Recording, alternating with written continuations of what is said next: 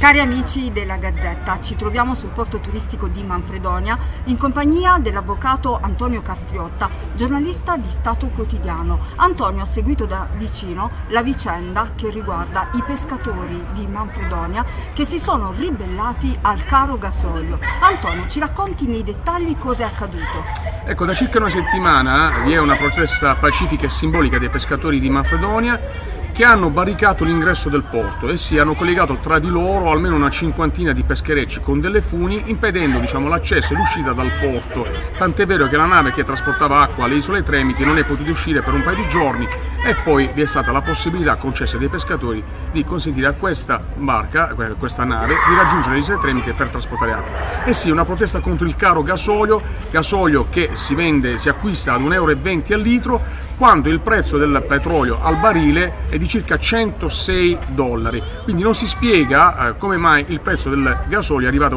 ad 1,20 euro al litro quando il gasolio si vendeva a 1,60 euro, il prezzo oscillava tra i 60 e i 70 centesimi al litro. I pescatori credono che si tratti di una speculazione, una speculazione che si riverbera negativamente sulle loro condizioni economiche, perché andare per mare oggi significa veramente rimetterci dei soldi. Con il costo del gasolio 1,20 euro, eh, anche se loro pescassero un gran pescato, in realtà non rientrerebbero nei costi. È una protesta contro il governo e questi pescatori chiedono al governo in effetti di calmierare il prezzo del gasolio, credito d'imposta, fermo bellico, eh, diciamo sarebbe una misura a sostegno del reddito, si potrebbe fermare il lavoro e quindi il governo dovrebbe eh, versare dei soldi ai pescatori in attesa di tempi migliori,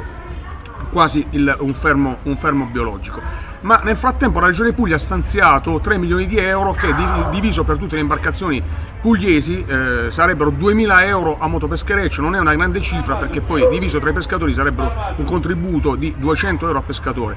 È semplicemente un atto simbolico quello della Regione che non risolve assolutamente i problemi di questa categoria.